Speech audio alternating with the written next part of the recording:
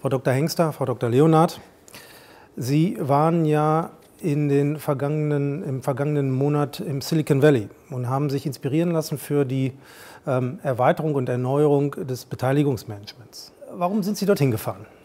Wie Sie wissen, haben wir einen Neuaufschlag unserer Beteiligungsfinanzierung losgetreten und wir wollten uns äh, wirklich ein eigenständiges Bild machen, wie Silicon Valley funktioniert, was dort so besonders ist, ob Dinge dort anders laufen wie in Deutschland und natürlich, was wir mitnehmen können und übertragen können und hier auch nützen können. Wir haben große Unternehmen gesehen wie Google zum Beispiel oder Oracle oder SAP.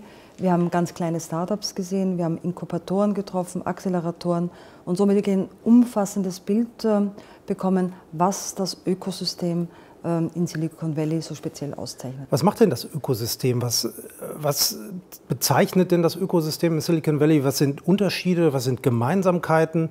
Ähm, was waren so Ihre Eindrücke? Der erste Punkt ist natürlich, hat Silicon Valley einen ganz anderen Zugang zu Kapital, wie wir das in Deutschland finden. Man muss sich vorstellen, in San Francisco, in dieser Region um das Silicon Valley, ähm, da stehen im Jahr 50 Milliarden an Venture Capital. Das gilt dann für ganz USA, aber der Schwerpunkt des Venture Capitals wird dort investiert zur Verfügung. In Europa stehen 4 Milliarden zur Verfügung. Frau Leonard, was haben Sie für Ihre praktische Arbeit mitgenommen im Beteiligungsfinanzierung im VC-Markt? Also mir war schon auch nochmal wichtig zu erkennen, warum ist der Markt so groß in den USA, nämlich weil eben sehr viele institutionelle Anleger wie Versicherungen, Pensionsfonds ihr Geld in Venture Capital geben. Auch das ist eine Erklärung, äh, die man heranziehen muss, wenn man den Vergleich macht zwischen den 50 Milliarden oder den 4 Milliarden in Europa. Was wir mitgenommen haben ist, äh, und das fanden wir sehr eindrucksvoll, dass die, die Aus- oder die Nähe zwischen den Venture Capitalisten, also den Investoren und den Start-ups, eine sehr, sehr enge ist. Und das macht Silicon Valley aus. Man erreicht binnen ja, weniger Kilometer oder Meilen hat man einen engen Kontakt und die Venture Capitalisten haben uns auch bestätigt, sie sind nah dran an den Startups, die sie finanzieren. Sie geben ihnen Coaching, Mentoring und es ist eine sehr enge Beziehung zwischen denen, weil die genau sich überlegen, wenn sie viel Geld hineingeben, dass es auch gut angelegt ist. Alle reden über digitale äh, Geschäftsmodelle, aber der, die Art und Weise, wie sie miteinander umgehen, ist stark analog. Man hört immer wieder, ich verlasse mich auf mein Bauchgefühl, ich ähm, akzeptiere überhaupt keine kalten Anrufe, sondern nur, wenn ein junges Unternehmen mir von einem anderen Investor empfohlen wird, dann schaue ich mir das überhaupt an. Und was man vielleicht auch noch ansprechen muss, man hört das immer wieder, aber es begegnet einem wirklich an jeder Straßenecke, das ist diese Risikokultur. Während wir immer sagen, naja, das Scheitern ist ein Problem, ist es dort fast etwas, was zum guten Ton gehört. Ähm, viele Investoren fragen ihre Startups, wie oft bist du schon gescheitert? Und wenn jemand sagt, schon ein, zwei Mal und das habe ich daraus gelernt und deswegen investiere ich jetzt wieder, dann ist das eher ein Qualitätskriterium. Und damit würde man sich hier ja immer noch sehr schwer tun. Also plädieren Sie für Scheitern? ich plädiere dafür, was zu beginnen, nicht zu viel Scheu zu haben und dann aber aus dem Scheitern was zu lernen. Ja, eindeutig. Viele der ich sage das mal, Reisenden äh, in Silicon Valley sind äh, beeindruckt wiedergekommen. Der eine mit Bart, der andere ohne Bart, der eine mit vielen großen Ideen. Was hat Sie am meisten beeindruckt? Vielleicht Frau Hengster und dann Frau Leonhardt.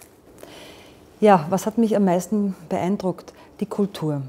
Diese Haltung, diese, dieses, diese positive Haltung, dass äh, man selber was schaffen kann. Der Drang zum Unternehmerischen ich habe eigentlich nur Menschen getroffen, die gesagt haben, ich habe jetzt schon mal was gegründet.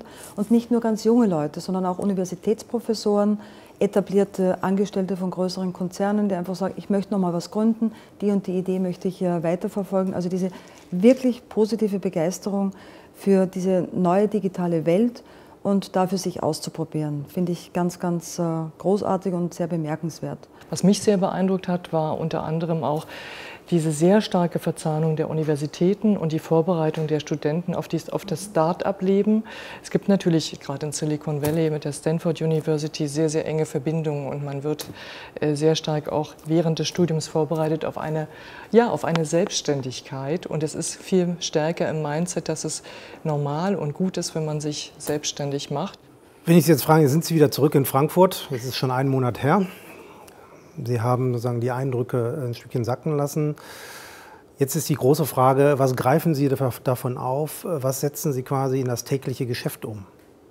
Wir sind dann zurückgekommen und haben gesagt, was können wir noch mehr tun, um das Thema Mittelstand und Digitalisierung, Industrie 4.0, Startups mehr zusammenzubringen. Und da haben wir schon erste Ideen entwickelt über Workshop hinaus. Wie bringe ich die vielleicht auch in konkreten Fondsstrukturen zusammen, sodass wir es dem Mittelständler leichter machen, diesen Weg dahin zu gehen und dem Startup aber auch eine Chance geben, äh, wenn er eine gute Idee hat, die man dann umsetzen kann, jemanden zu finden, der mit ihm einen Rollout startet, damit das Geldeinwerben nicht zu, müh, zu mühevoll ist. Und wir denken auch darüber nach, einen, ja, einen Award ins Leben zu rufen, rufen, so wie das äh, auch Google macht. Wir haben auch so einen speziellen Award, wo sie das Tech-Unternehmen äh, eines jeden Jahres prämieren. Denn auch die großen amerikanischen Internetunternehmen versuchen ganz, ganz viele Startups an sich zu binden. Und sowas ähm, prüfen wir momentan auch gerade, ob das für uns auch Sinn macht, sodass wir einmal im Jahr einen Startup besonders auszeichnet, der sich eben besonders in diesem Jahr hervorgehoben hat. Frau Leonard, was greifen Sie auf? Die deutschen Startups denken eher kleiner, weil sie geprägt sind von geringer Kapitalverfügbarkeit, eher 200.000, 300.000 Euro, als vielleicht auch mal zu sagen, ich wage mich größer zu denken. Auch das wird etwas sein, was wir mit unserem neuen Beteiligungsantritt unterstützen können, nämlich zu sagen, ja, in der B- oder C-Runde gibt es auch mal mehr, also ein, zwei, drei Millionen, auch das ist ja bei uns angelegt.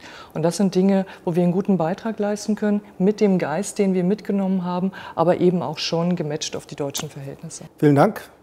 Vielen Dank, dass Sie Ihre Eindrücke mit uns geteilt haben. Ja, bis zum nächsten Mal. Dankeschön. Danke. Dankeschön.